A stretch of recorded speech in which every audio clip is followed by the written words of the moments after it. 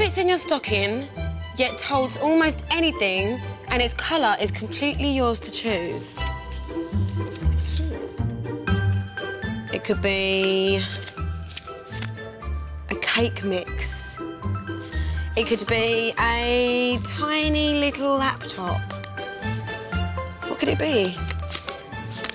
Hmm. Let's open it.